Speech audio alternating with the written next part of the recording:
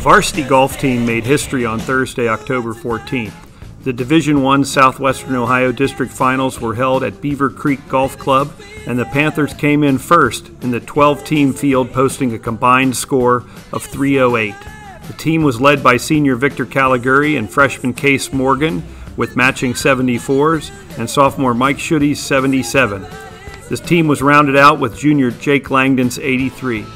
Their total of 308 was four strokes better than runners up from Lakota East and Mason. It's a big relief winning, um, especially knocking out our GCL rival, St. X.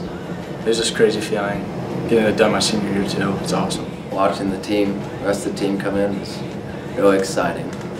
Um, winning districts was definitely one of the coolest experiences I've ever had. Um, felt just felt good. Felt like we did really good, and it just felt awesome. It was a great experience. Um, we played pretty well. We started off good and maintained it, but I feel like there's much more room to improve, and we have a lot more capability. This sends them on to the state finals to be held on Ohio State's Scarlet Course for two rounds October 22nd and 23rd. This was the first district title for Elder Golf since a shared crown in 1989. That's 32 years ago.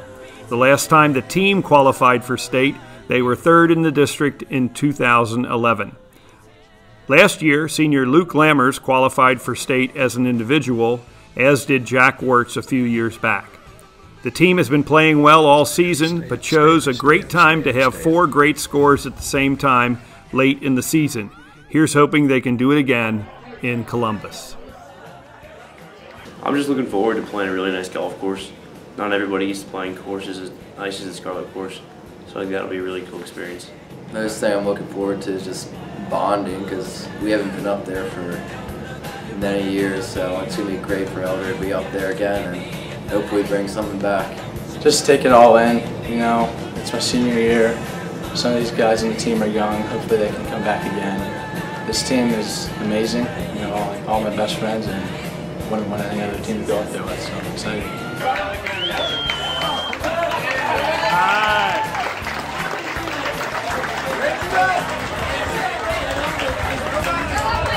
I didn't even know until walking off the 18th green, the guys were all hugging me, saying we won. And it was just a great feeling. I knew we could do it. I knew the skills there. You know, we just needed that confidence. I'm really looking forward to play this course. I've never played it, and I've heard it's nice. And hopefully, we can start out strong, and we'll probably put a good finish on it. So, good Panthers. Feel like we have a good shot at maybe winning. Um, I just hope we do good. The school gathered to wish the team good luck as they left for Columbus on Thursday morning, October 21st. For ENN, this is Mr. Rogers reporting.